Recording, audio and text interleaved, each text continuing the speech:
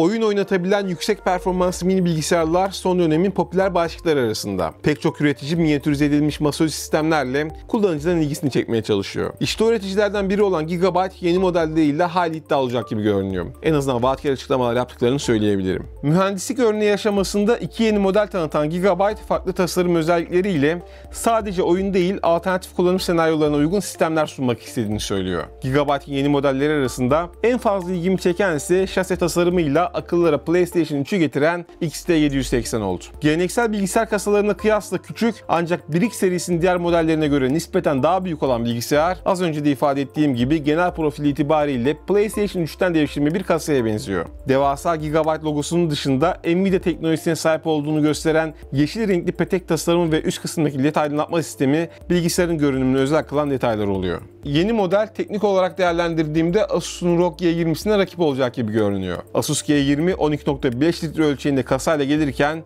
XT780'de ise bu değer 10 litre civarında. Barebone olarak sunulmasını beklediğim sistem yeni nesil ve güçlü pek çok donanımla da uyumlu. Tanıtımı yapılan demo modelde Core i7 6700K işlemci, GeForce GTX 970 ekran kartı, 16 GB RAM ve M2 formunda SSD sürücü bulunuyordu. İşlemci, RAM ve depolama tercihinin son kullanıcıya bırakılacağı sistem, kablosuz bağlantı teknolojilerinin tamamına destek sunuyor. Görüntü aktarımı ve kablolu bağlantı için ise bir adet USB 3.1 tip C, bir adet USB 3.1 tip A ve 3 adet USB 3.0 ile birlikte görüntü aktarımı için 3 adet DisplayPort, 2 adet HDMI ve DVI konektörlerine sahip olduğunu görüyoruz yeni bilgisayarın. XT780'in tasarımını genel olarak beğendim.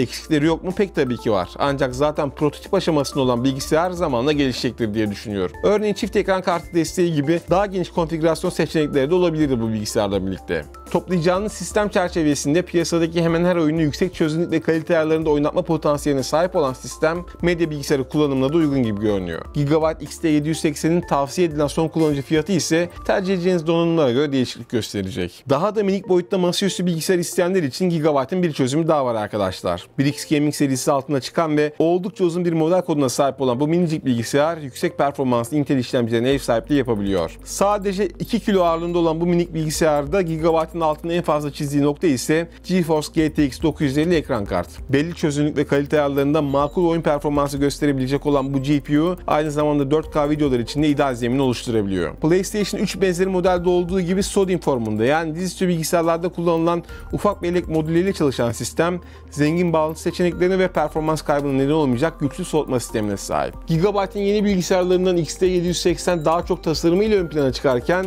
BRICS Gaming serisinin yeni üyesi ise minicik boyutlarında sunduğu yüksek performansıyla meraklı gözleri üzerine çekmeyi başarıyor arkadaşlar. Aynı zamanda her iki sistem de barebone olarak alınabiliyor. Yani temel donanımların kullanıcıya bırakıldığı seçenekler şeklinde de temin edilebiliyor. Evet arkadaşlar ben Erdo Özoğa. Bu videomuzda Gigabyte'ın minyatürize masaüstü bilgisayarlarına yakından bakmış olduk. Bir sonraki videoda görüşene kadar şimdilik hoşçakalın ve kendinize çok iyi bakın.